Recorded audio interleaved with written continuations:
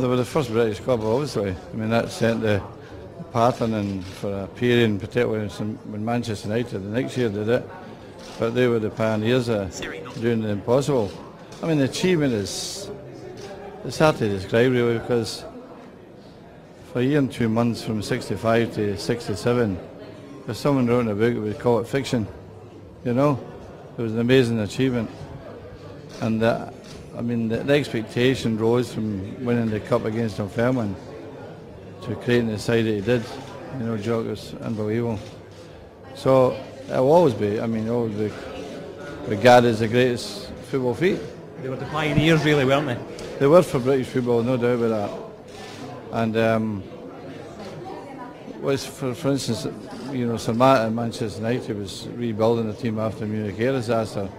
But they got to a semi-final, which was a great achievement because they're a very young side. But Celtic to do it with 11 players all within, what, 25 miles of each other, it's, it's astonishing, really astonishing. So it's uh, rightly this evening tonight sort of recognise the achievement, but also applauds the players who managed to achieve it and the management staff who did it also.